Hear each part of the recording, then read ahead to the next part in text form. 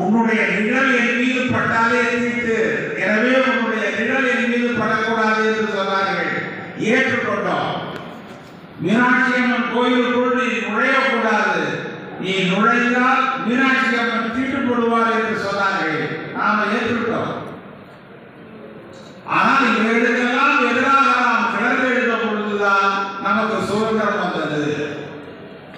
கிளர்ந்து எழுததோடு இருக்கக்கூடாது.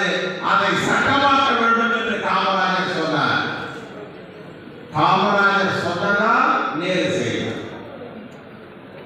ஏன்னா சுதந்திரம் அடைந்திருக்கிறது அப்பொழுதுதான் சுதந்திரம் அடைந்த உடனேயே நம்முடைய நம்மால் எழுதப்பட்ட அரசியல் சட்டத்துல முதல் திருத்தத்தை கொண்டு வர வேண்டும் என்று நாம் விரும்புகிறோம் எல்லாருக்குமே அது கொஞ்சம் கஷ்டமா இருக்கும் ஏன்னா இவ்வளவு சிரமப்பட்டு அரசியல் சட்டம் எழுதணும் அதை போய் திருத்தணுங்கிறாங்க அம்மாளே சொல்றாங்க இந்த காமராஜர் மெட்ராஸ்ல இருந்து வந்து சொல்றாங்க அந்த ஆளு இந்த வாதம் எழுத்தது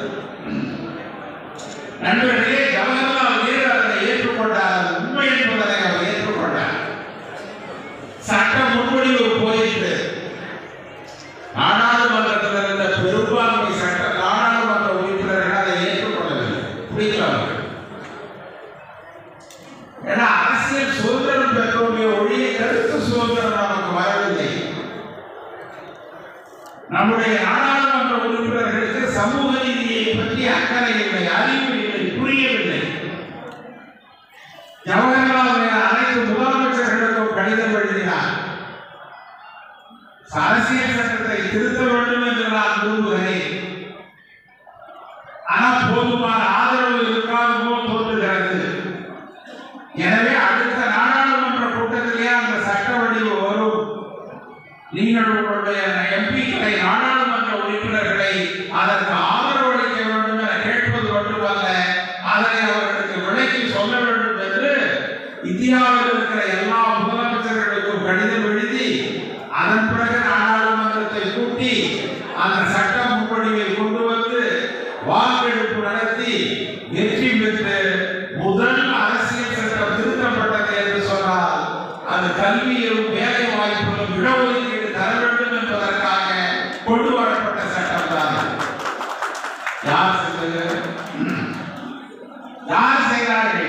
காங்கிரஸ் கட்சி செய்தார் யார் செய்கிறார்கள் பெருந்தலைவர் காமராஜர் செய்தார். வேறு யாருக்கு உரிமை இருக்கிறது? ஏன் இந்த பரப்புரையை நாம் செய்யவில்லை? எவ்வளவு பேர் சமூக நீதிக்கு நாம் தான் காரணம் என்று பேசுகிறீர்கள்? எவ்வளவு இடங்கள் சொன்னீங்க? தயவு செய்து எண்ணி பாருங்க பரப்புரை முக்கியம் பரப்புரை இல்லாமல் வெற்றி பெற முடியாது பொய் தான் சொல்லக்கூடாது உண்மையை சொல்லலாம் பல பேர் பொய் சொல்லி ஆட்சிக்கு வருகிறார்கள் நாம் உண்மையை சொல்லுவோம் உண்மையை சொல்லி ஆட்சிக்கு வருவோம் தோழர்களே இன்றைக்கு ராகுல் காந்தி அந்த நிலையை தான் எடுத்திருக்கிறார் என்ன சொல்ற? ஓபிசி என்று சொல்லப்படுகிற இதர பிற்படுத்தப்பட்ட மக்களுடைய உண்மையான எண்ணிக்கை தெரியவில்லை. எனவே ஜாதிவாரி கணக்கெடுப்பு எடுத்து நம்முடைய இடஒதுக்கீட்டை உறுதி செய்ய வேண்டும் என்று அவர் சொல்லுகிறார். இதில் என்ன உடனே